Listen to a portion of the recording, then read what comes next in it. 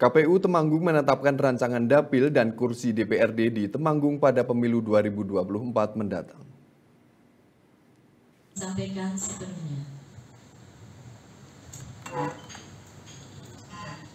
Ketua KPU Temanggung Muhammad Yusuf Hasim mengatakan penyusunan daerah pemilihan dan juga jumlah kursi di Temanggung masih sama dengan pemilu 2019 lalu, yakni 6 dapil yang tersebar di 20 kecamatan dengan keterwakilan jumlah anggota DPRD 45 kursi.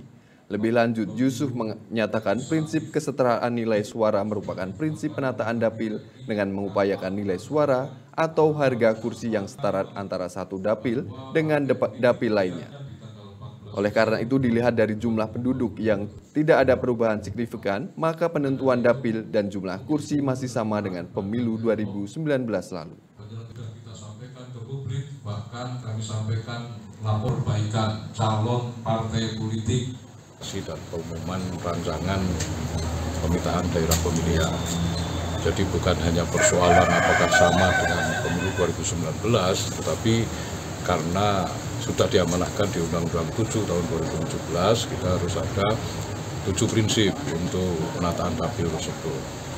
Tentu ini harus kita sosialisasikan rancangan kita kepada uh, publik supaya nanti untuk penetapan dapilnya sesuai dengan Undang-Undang 7 itu.